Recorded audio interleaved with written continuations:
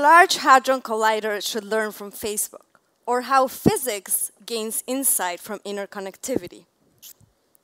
If look, looked up close, Impressionist paintings can appear as a disconnected set of paint blotches. But when seen from a distance, the same painting acquires meaning, and one sees the emergent patterns, such as the lakes and the trees. In colloquial terms, when this happens, we say that the total is more than the sum of its parts. In science, we call this emergent behavior, which is defined as when a system composed of independent parts forms more complex behaviors as a collective and exhibits properties which the individual components themselves do not have. We're familiar with examples of this in biology and in social networks. Take, for example, the concept of popularity.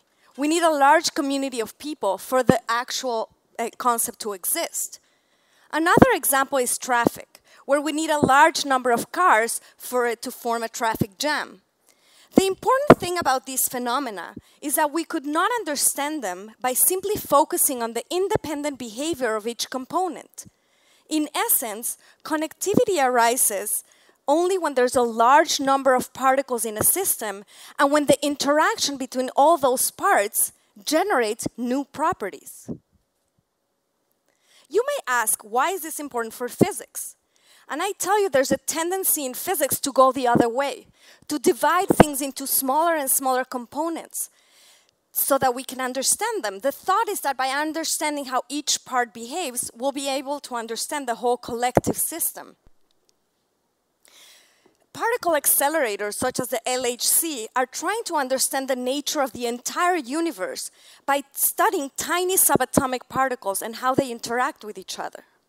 Much of physics today is concerned uh, by explaining how the main four forces, such as electro electromagnetism, the strong, the weak, and the gravity forces, can all fit into one theory of everything. But perhaps when one looks too close, much of what is there disappears. We have examples of emergent behavior in physics, such as rigidity of glasses, much like the glasses where you drink your water from. A few molecules of the same material would be a fluid, but a large number of those molecules undergo a radical phase transition and form a rigid solid.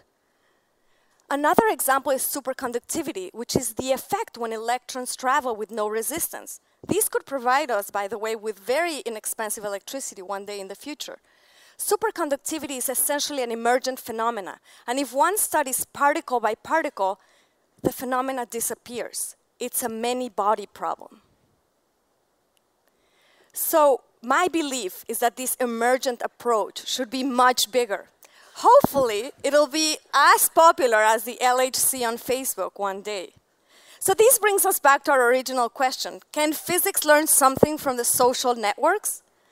I think the answer to that is yes, but that leaves us with an even more complex question.